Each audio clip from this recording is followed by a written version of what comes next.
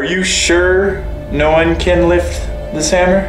Only those who are worthy can wield the hammer.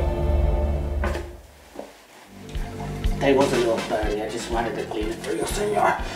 Just okay. Oh yeah. Okay, that's oh that's gonna look so nice. It's super clean. Worthy, huh? Superman, what are you doing here? You're not even like part of the same universe. Silence!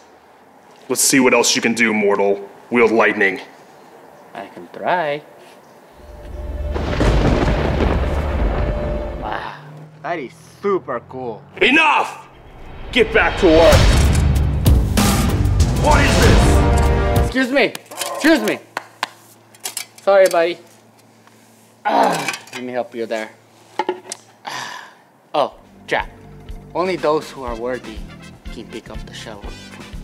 I gotta go to work. Here you go, Superman.